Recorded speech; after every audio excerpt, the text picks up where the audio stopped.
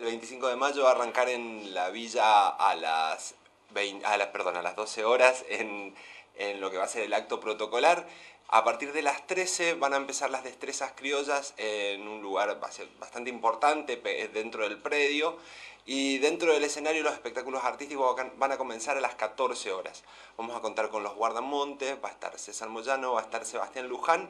Y si pueden cruzar vamos a tener un grupo de folclore latinoamericano que llegan de Chile, así que vamos a tener como muchos números artísticos para concluir a las 16 horas con el Pericón, eh, concluir de alguna manera, cerrar este, esta, este mediodía tarde y el espectáculo final va a ser un gato, una cueca, que va a tocar la banda de música de la policía, que se van a quedar eh, para los presentes a hacer un repertorio pensado para esta fecha. Así que bueno, están todos invitados, aparte de lo que van a ser los actos protocolares, vamos a tener espectáculos artísticos para acompañar a las tortas fritas, el locro tradicional y poder pasar una, una grata velada al solcito de la villa. El protagonista principal sos vos.